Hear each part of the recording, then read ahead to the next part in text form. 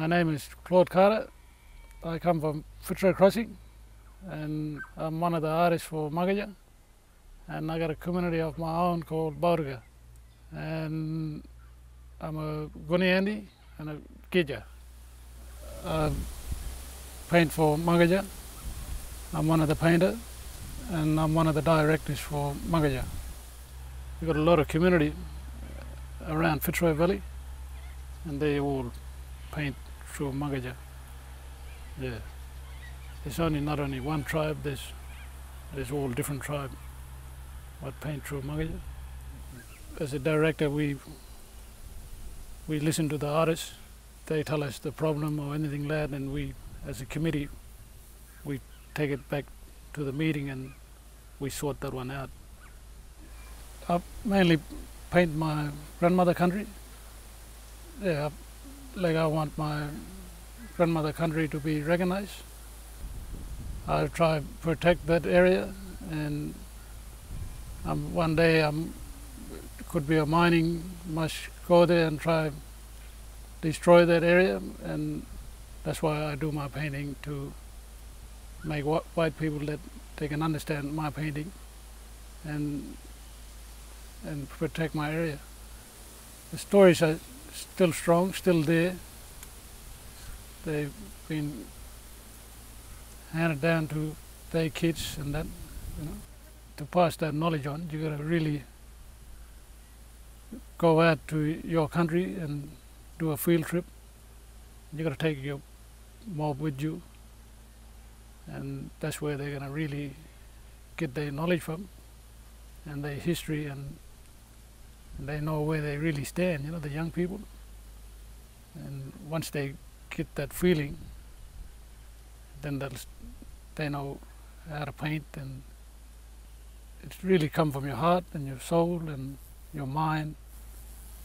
All these paintings come from, you know, when they go back to country and when they show the next generation, once they go to that area, it really, really touched them inside, you know and they want to protect that area now. They want to start painting it. It's just like a white person want to be a doctor. You don't, he'll, he'll have to go to the white man school and teach, learn that thing. And he get that knowledge and everything at the school and he's a doctor. Well, it's a little bit same like us. We got to go back to a country and really get that knowledge probably. Because this history it doesn't go back 10 years ago. It go back 40,000 years you know.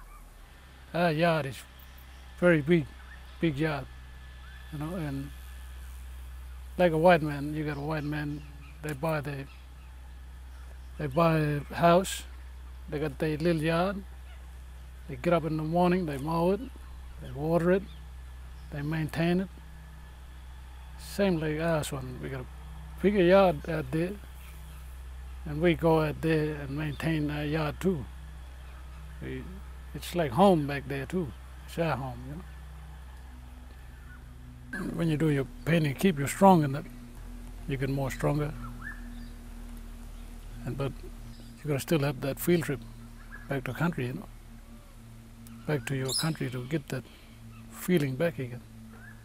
Sometimes you can paint, paint, and it doesn't really come come strong enough. You start to lose it a bit. Then you got to go back again, and then you can feel that present again. You get stronger inside, and you go back and your painting come more, more stronger. I went back home.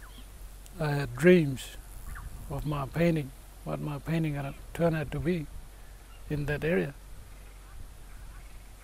So uh, one morning I got up, I just got a brush, started to paint, and I finish. I stand back and look at it. Hey, I didn't know I can paint, you know. And like in another way, when I went back to my area, my people was there, their souls was there, you know and they like they gave me a gift through my fingers and through my soul, you know. And when I paint, I still can't believe it that I done that painting, you know. And it's a lot of dream, and it's mainly our ancestors, but inside us, you're showing us. That's why I'm doing how to paint. We we still respect our elders. They come first. They number one, you know. And they got the knowledge. They got the history. Us young people, we just coming up slowly behind them. Yeah, I'm, I'm proud to be a director in Mangkaja and a painter because I learned a lot from my elders. That's it. Yeah.